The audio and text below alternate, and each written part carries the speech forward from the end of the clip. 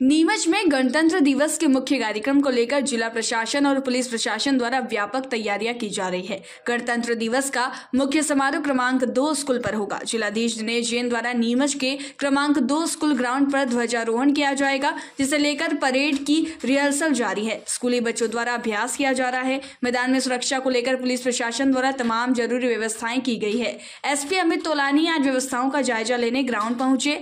यहाँ पुलिस अधिकारियों से उन्होंने चर्चा कर जानकारी जानकारी दी मुख्य कार्यक्रम में ध्वजारोहण के बाद परेड होगी। इसके पश्चात स्कूल के छात्र छात्राओं द्वारा विभिन्न कार्यक्रमों की प्रस्तुतियाँ दी जाएगी। अलग अलग तरह की झांकियाँ होगी। कार्यक्रम के अंत में सम्मान और पुरस्कार वितरण किया जाएगा।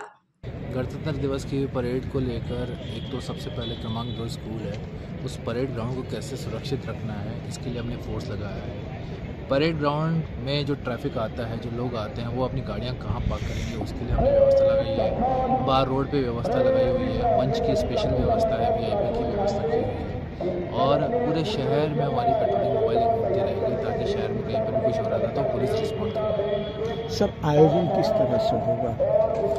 आयोजन देखिए पहले जैसे परेड चलती है वैसे प्रॉपर परेड होगी।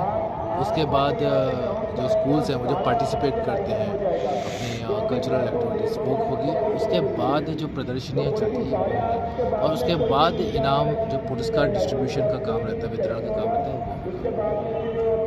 नीमच से अब्दुल अली रानी के साथ आसिफ अली की ये रिपोर्ट